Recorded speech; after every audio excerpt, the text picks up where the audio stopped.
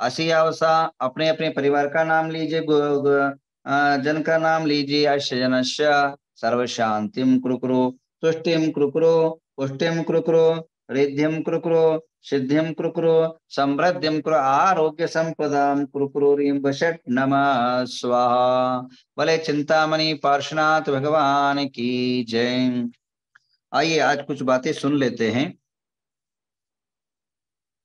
मनुष्य के जीवन में सुख और दुख। जो भी होता है, उसके दो कारण होते अंतरंग कारण और बाह्य कारण। अंतरंग कारण जो होता है, वह कर्म होता है। बाह्य कारण अनेक होते हैं, एक नहीं, अनेक होते हैं। और अनेक से भी अनेक अनेकों का फल प्राप्त होता है।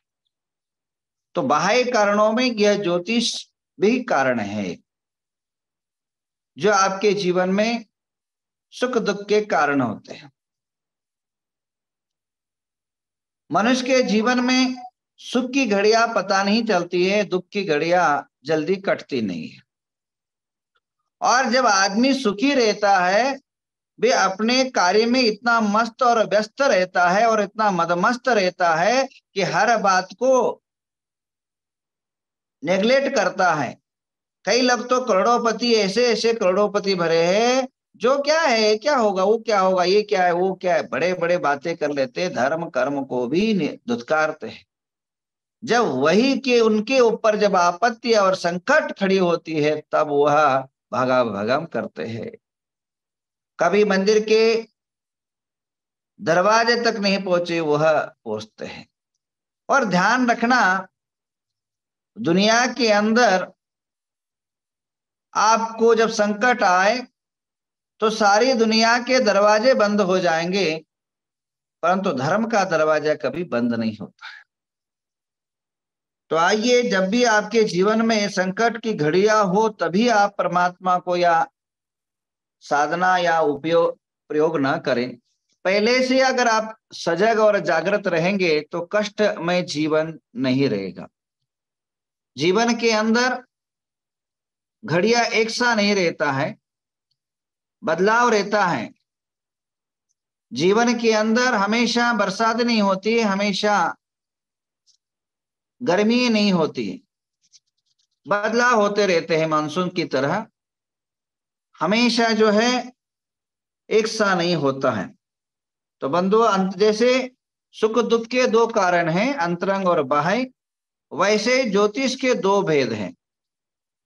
एक ज्योतिष ये है कि फलित ज्योतिष और एक गणित ज्योतिष।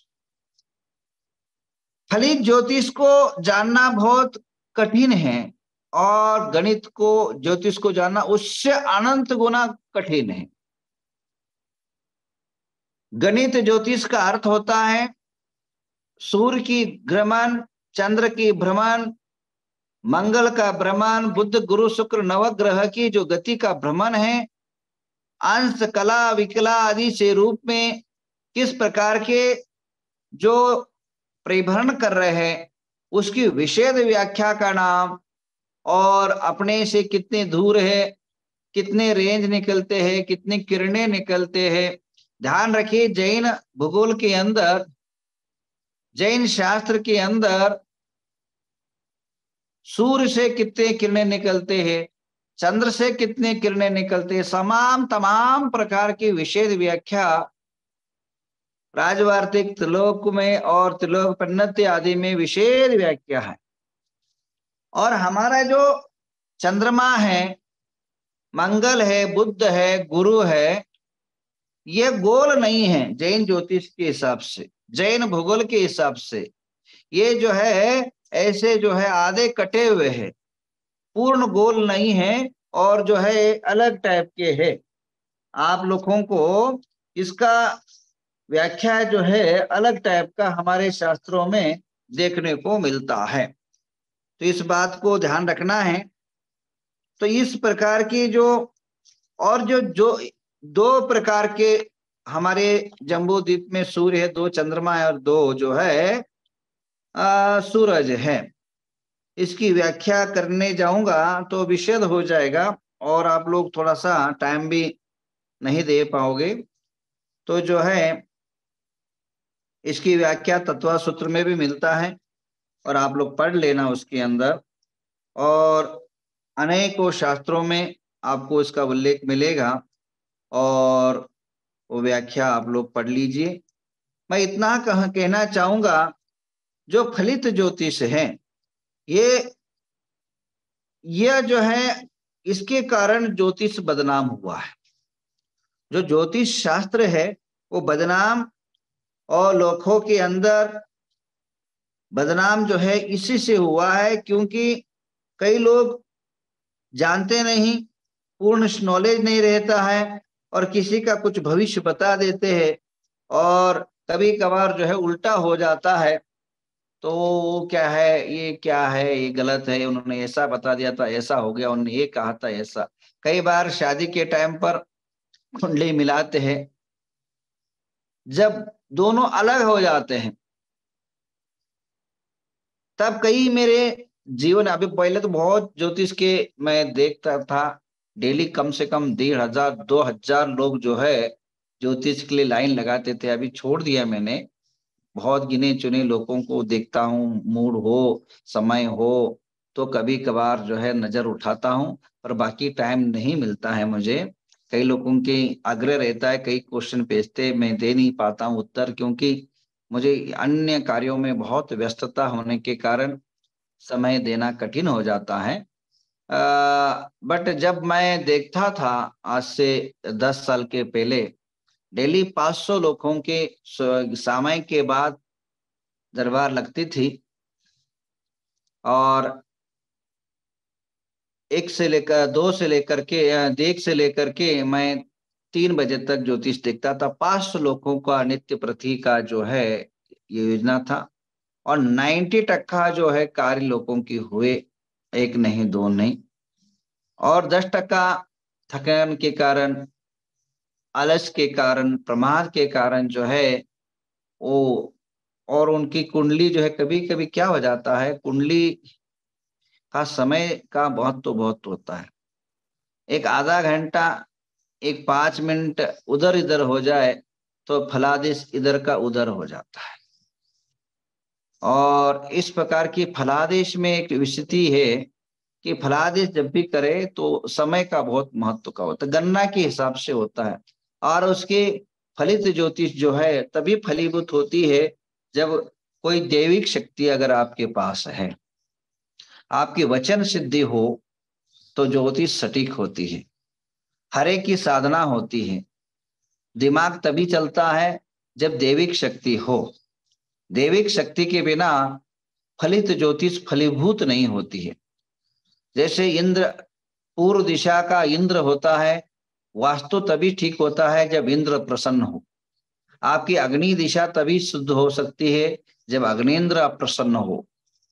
दस दिक्पालों के दस जैसे प्रसन्नता से वास्तु में एक ताकत, एक एनर्जी एक पावर आ सकता है। वैसे फलित ज्योतिषों में जो वरह आदि विद्याएँ रहती है अलग अलग विद्या है इसकी भी अनेक प्रकार की, इसकी भी साधना है, ज्योतिष की भी साधना है। एक तो जानना अलग, जानने के बाद उसको अगर हम बोले, कई बार ऐसा भी हुआ ऐसे, कई बार ऐसी घटनाएँ हमारी लाइफ में हुई। कुंडली जो है, भाई की बताने की जगह, छोटे, बड़ा भाई की बताने जगह, छोटे भाई का मेरे को कुंडली दे दिया और बड़े भाई के बारे में प्रश्न पूछा। और वाक्य जो है, ऐसे निकलते गए, उसके पूरा जीवन हिस्ट्री जैसे झराक्स निकालता ना, पूरा जैसा का तैसा, उसका पूरा स्टोरी जो है बता देता था उस टाइम पर। क्योंकि ग्रहों की जो गणना है, ग्रहों की जो कल्पना है, ये ग्रह अगर ऐसे आएँगे तो ऐसी संभावना बन जाती है। ये ग्रह अगर ऐसा, अगर जैसे एग्ज़ाम्पल उदाहरण मान लीजिए, अगर आपकी कुंडली है एग्ज़ाम्पल चंद्र है, और चंद्र जो है दूषित हो गया शनि केतु, और मंगल से पीड़ित हो गया, उसकी माइंड ठीक रह ही नहीं सकता है। वो आदमी कभी भी जो है स्थिर था या एक खंबीर पूर्वक जो है विचार कर ही नहीं सकता है। और उसी चंद्र के साथ अगर गुरु का संयोग बन जाता है, इतना गंभीर मनुष्य रहता है, उसकी चिंतन इतनी प्रखर चिंतन रहता है, उसका विचार इतना प्रबुद्ध विचार रहता है, देश, समाज, राष्ट्र को जो है दिशा बोध देने वाला विचार रहता है। तो इस प्रकार की जो फलित ज्योतिष है, बहुत ही महत्वपूर्ण भूमिकाएँ अदा करती है। ज्योतिष गलत नहीं है बताने वाले गलत होते हैं। और ध्यान रखिए, और जो ज्योतिष जो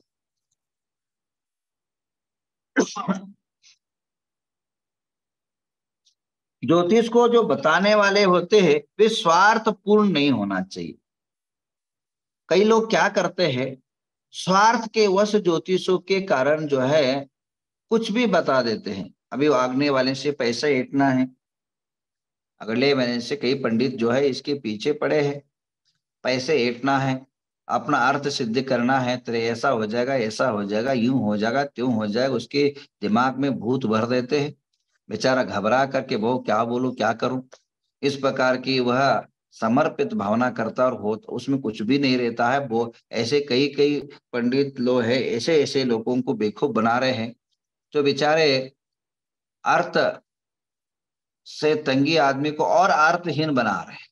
और पूजा के नाम पर, ज्योतिष के नाम पर जो है ढोंग और पाखंड रचा रहे हैं, जिससे जो है यह विद्या साहित्य जो है बदनाम हो रहा है। ध्यान रखिए, ज्योतिष के नाम पर कोई भी पैसा नहीं कमाना चाहिए। एक रुपया नहीं लेना चाहिए। मेरे अगर देखो, विद्या को फ्री ऑफ़ चार्ज विद्या कल्याण अर्थ होता है। विद्या जीवन के कल्याण अर्थ होता है, विद्या मनुष्य के उद्धार अर्थ होता है, विद्या जीवन को सफल बनाने वाला होता है, विद्या का अर्थ होता है जगत कल्याणी होता है। तो इसलिए क्या है, ज्योतिष को जो है निशुल्क रूप से अगर जो व्यक्ति बोलता है, वो सत्य बोलेगा और पैसे की आशा से कोई कोई बोलता है तो समझिए वो कभी भी सत्य का प्रतिपादन नहीं रहता है। सत्य तभी निकल सकता है, आशा, भय, वासना और छल कपट रहित जो वचन होते हैं, निर्भयता के जो वचन होते हैं, वह सत्य वचन हो सकते हैं।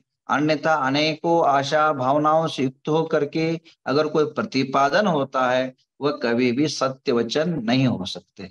आइए आइए हमारे इसी प्रकार जो है, ज्योतिष जो है, बदनाम इसलिए हुआ है, बदनाम के कारण ये है बदनाम का कारण ज्योतिष जो है, पंडितों से बदनाम हुआ है। न कि ज्योतिष विद्या ये है। और माइक? आइए अभी हमारे पारस चरण के पंकज के सुपुत्र भव्या पधारे हैं और विनोद जी पधारे हैं। अपनी बात रखेंगे क्योंकि ये समय हो रहा है। आप सभी को सादर आज बड़ा सौभाग्य का दिन है। कि हमें आचार्य गुंधन जी महाराज का दर्शन करने का सौभाग्य मिला और नवग्रह तीर्थ में आने का हमें सौभाग्य मिला। आज यहाँ पर आकर अत्यंत हर्ष हुआ। आज गुरुदेव ने जो नवग्रह यहाँ पे बना रखा है, आप देखिए, आपने दर्शन किए होंगे कभी, नहीं किए हो तो आके करिए। तिलोक तीर्थ की रचना गुरुदेव कर रहे हैं नवग्रह तीर्थ जम्मू तीर्थ की रचना कर रहे हैं। और उसके अलावा देखिए गुरुदेव का सोच कि यहाँ पे पाँच हज़ार विद्यार्थी अध्ययनरत हैं जिनको इंजीनियर की डिग्री फार्मेसी की डिग्री हर तरह की डिग्री यहाँ महाराज जी स्टूडेंट को दे रहे हैं। और जो गरीब बच्चे हैं उनको यहाँ पे पढ़ा भी रहे हैं उनकी रहने की व्यवस्था और खाने की व्यवस्था भी गुरुदेव ने यहाँ पे कर रखी है। ये जो बीड़ा गुरुदेव ने उठा रखा है इसकी जितनी प्रशंसा की जाए उतनी कम है। आप लोग भी यहाँ पे आइए और दर्शन करिए और इस व्यवस्था को देखिए कि कितनी अद्भुत कितनी अद्भुत नज़ारा है कितनी अद्भुत व्यवस्था आचार्य ने यहाँ पे बना रखी है। इसी के साथ जय जिनेन। नमोस्तु गुरुदेव। नमोस्तु। गुरुदेव। आज सभी को सादा जय जिनेन। जो गुरुदेव ने यहाँ पे इतनी अच्छी सुंदर रचना करी है, उसका कोई मोल ही नहीं है, उसका कोई तुलना ही नहीं है। मैं तो सभी लोगों से यही विनम्र निवेदन करूँगा, एक बार उगली वरूर ज़रूर आए और गुरुदेव की इस रचना को देखें और ऐसी रचना हज़ारों हज़ारों साल तक जीवंत रहेगी। गुरुदेव के चरणों में बारह बहुत सुंदर साक्षात अपनी दृष्टि से देखा है, नवग्रह तीर्थ की रचना के बारे में और कभी बात करेंगे।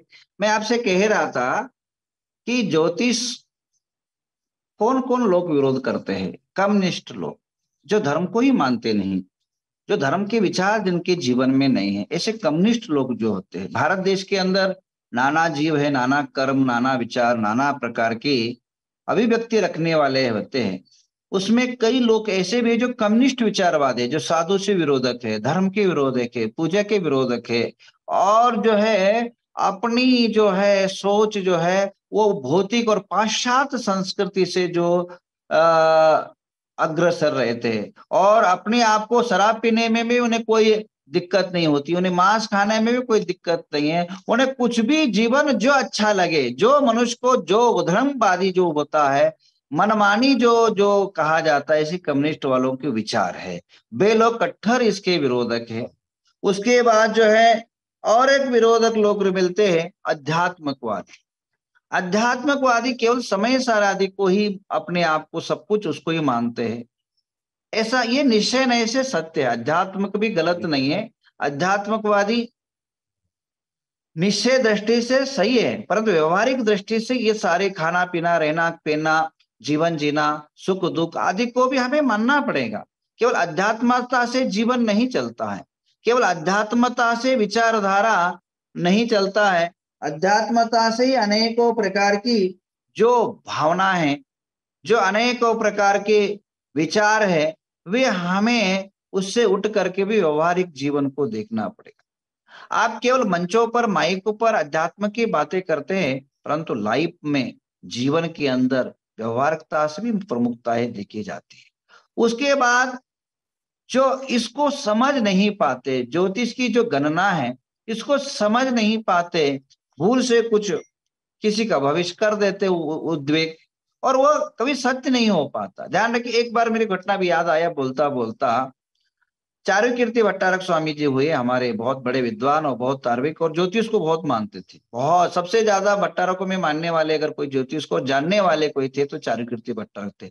आपने अगर घर से रूम से अगर बाहर भी जाते थे तो अपने ज्योतिष को मानते थे और ज्योतिष की गणना के अनुसार अपने जीवन को ढाल दिया था। इसीलिए देश का सबसे उच्चतम जो है जो क्षेत्र बना, वो सोमगुड़ बना और सारे दुनिया की जो ये है, क्या बोलते आकर्षक बिंदु जो है, वो सोमगुड़ रहा। ज्योतिष को बहुत मानते थे। एक बार क्या हुआ, मैं नाइन्टी दो हज़ार एक के अंदर वो चतुर्मास में थे।